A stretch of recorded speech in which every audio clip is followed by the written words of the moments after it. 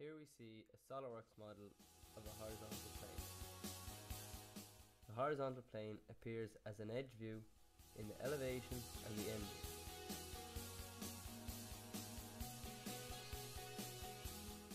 But it appears as a true shape in plan.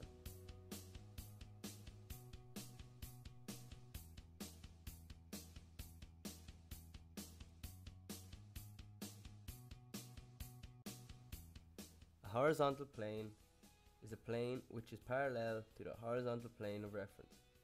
All points on a horizontal plane are at equal heights above the ground.